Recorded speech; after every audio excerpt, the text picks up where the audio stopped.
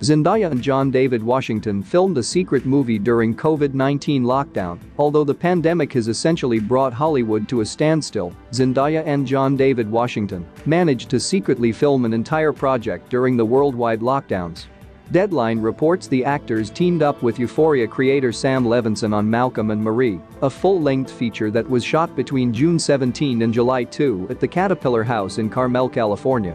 The space is described as an environmentally conscious glass architectural marvel that was situated on 33 acres of land plenty of room to ensure the cast and crew adhered to social distancing guidelines.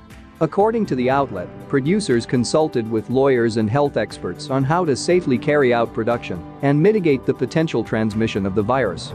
The team required all involved parties to take multiple COVID-19 tests and undergo a two-week quarantine before filming began. Cast and crew members were forced to wear masks during the two-week production, meals were eaten in designated areas and prepared by a chef who also underwent quarantine. Rehearsals took place in parking lots. No more than a dozen people were allowed on set at any given moment, temperature checks occurred at the beginning and end of each day, and no one from the main team was allowed to leave the property. The WGA, DGA, and SAG-AFTRA reportedly approved the production once the safety measures were laid out.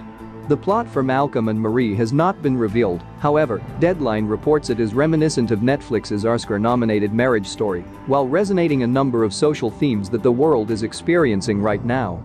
Levinson stay tuned as more details about the film become available.